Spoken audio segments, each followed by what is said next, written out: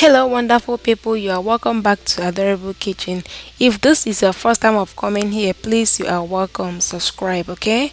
So today i'm going to show you guys how i process my fresh tomatoes into tomato paste. I have two methods but in this video i'm going to show the first method. And be sure to check out the next video to see the second method okay? So to do this we only need a muslin bag. This is the type of bag we use in nigeria for making pap akamu or ogi. So that's the only equipment we need for this processing of fresh tomatoes into tomato paste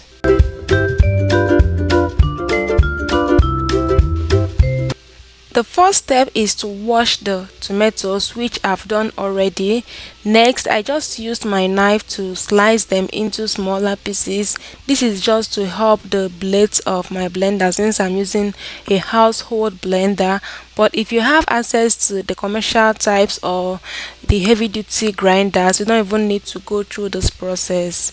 Again, if you've not watched my other videos where I explained um, how we got all this from the farm.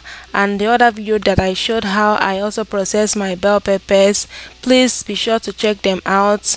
Click the link you see in the screen and you can watch that video after this Apart from helping the blades of my blender to um, grind the tomatoes very well, I think it's also a nice idea to cut into the tomatoes just to have a look inside them. You know, sometimes you can find things like maggots inside fresh tomatoes, so I think it's a good idea to just cut through the tomatoes.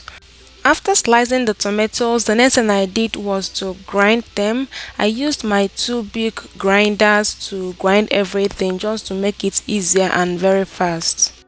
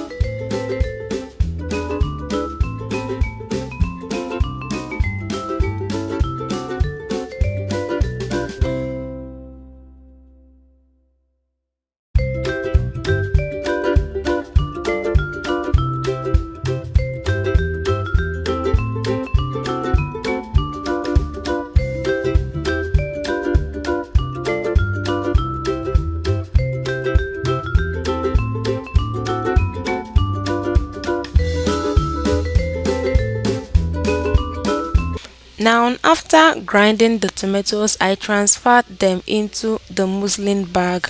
So this is the method that I used for this um, part 1 of this video. I didn't cook the tomatoes at all. This method is very very good. It saves time, it saves power, it saves you your gas and everything and it is very very easy okay just transfer the whole um, blended tomatoes inside the muslin bag and just um, leave it overnight the water will drain out and that is it. Don't even be scared that you are going to waste your tomatoes okay? I'm just going to show you the water coming out from it. It is just clear water clean water okay? It is not your tomato that is going out. It is just water. So this is the first method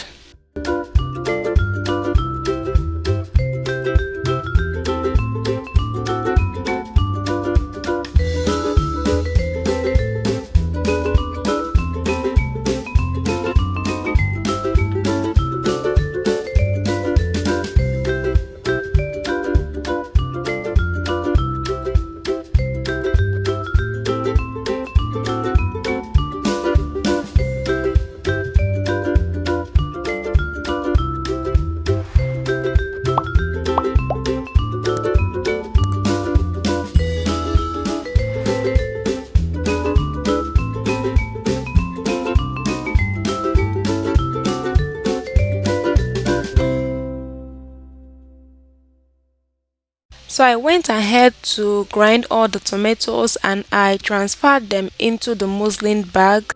Then I tied the opening of the bag and I placed a heavy object on top of the bag just to um, exact some weight and drain out the excess water and I left it overnight. I did this about 8 p.m.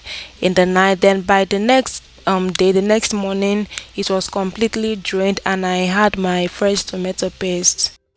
This wasn't easy at all but it was completely worth it okay because assuming I had to because assuming I had to store all those fresh tomatoes there wouldn't be space for it in my freezer there are too much for me to store in my freezer but after making it and processing it this way it just takes up little space in the freezer.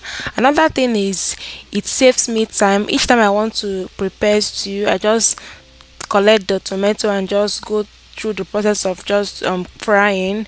You don't have to go through this process all over again. So it saves time and it saves you um, space in your freezer as well. So this was the next morning as you can see it has drained out completely and this is some of the water that came out as you can see this is just clear water okay? In case you are thinking that's the flavor going out no that is not the flavor.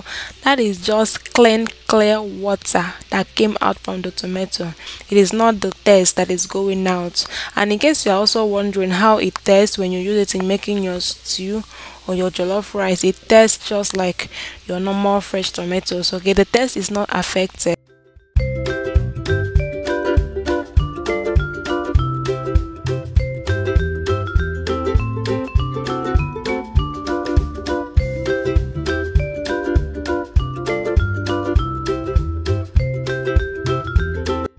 the final thing i do is just to package them in ziploc bags and keep them in my freezer.